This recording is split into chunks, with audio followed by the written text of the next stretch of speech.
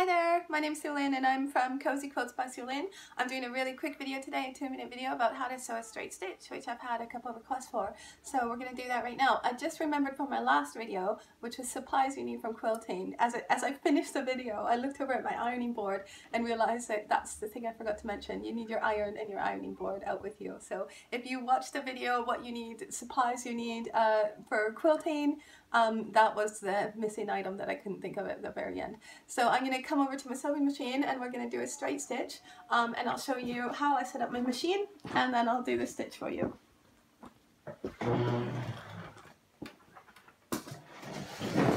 Okay, so I'm going to start with my machine all up.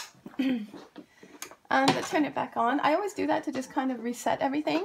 Um, I've got thread in right now, it's almost empty, and I've got a bobbin in. They're not matching because the last um, bit of work I was doing piecing, it didn't matter what color the threads were. But obviously the first thing you want to do is make sure your machine is turned on. Make sure you've got your presser foot down here, ready to go in a nice comfortable position, okay? You want to be sitting up straight in a good chair. And I recently learned a really good tip that if you put a pillow behind your back, in between the back of your chair and your back. Um, it's really helpful when you're quilting big quilts and it really made a big difference on the last big quilt I did. So I've got some threads in, but the next thing I would do automatically in my mind is think about my threads. So I'd sit down and I think, well, what threads do I need? And I'd swap out this and I'd swap out my bobbin depending on what I need. I've got my stitch um, allowance, uh, sorry, my stitch length at a 2.5. That's just normal for piecing. I've got my speed on a high, but I'm going to turn it to a medium for you. My tension's at a 4. That's a factory setting that I'm always happy with. I haven't adjusted it too much since I've got it. My sewing machine, luckily enough, has a, a needle up or down.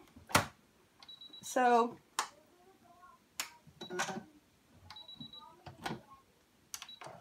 Right, so there we go. Needle up, needle down. And I've got a, a, button for back stitching as well, so I'm quite lucky. It's quite a good machine.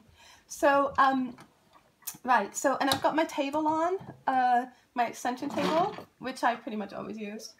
Um, it's because I'm always quilting and piecing, so if you've got one of those and it came with your machine, attach it uh, when you're doing your piecing. Okay, so straight stitch, we'll just jump right into it. This is just something I'm working on, so I'll just carry on working on this. Okay, so the first thing you need to remember is good fabric to good fabric. So that's my good, that's my good. My raindrops I actually want facing down. So I'm going to turn my raindrop that way. So it's good to good. Okay, so um, make sure you've got your piecing attachment on. So I'm going to lift it up, right? I'm to put it down. And if you can come in real close, can you come in real close? Okay, so see, these are our guides here, okay? These little notches right here, these markings are our guides. Now, if my fabric, the edge of my fabric, lines up with that one there, okay that's my quarter inch seam allowance okay which is what I'm always working towards so I'm to press it down right on my quarter inch seam allowance on on on the marking okay and then I'm to slowly because I'll put it to a slow for you I'm going to slowly, I'm okay, watch what, watch what I'm doing. My, my middle finger's here, okay? And my hand is just gently here. I'm not feeding it in. The feed dogs are going to feed it for you, okay? All you're doing is guiding. That's all you're doing, just guide it. So your middle finger gently holding it and this hand uh, guiding it. Do nothing more than guide, guide the fabric.